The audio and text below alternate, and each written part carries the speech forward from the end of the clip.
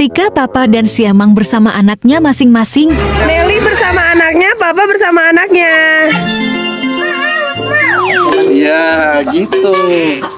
Baik. ini kadang anak tamu itu sih ini karena ada bayi dulu waktu si gokal nggak masalah jadi pikiran dia anaknya mau diambil Oh, jadi protektif ya. Iya.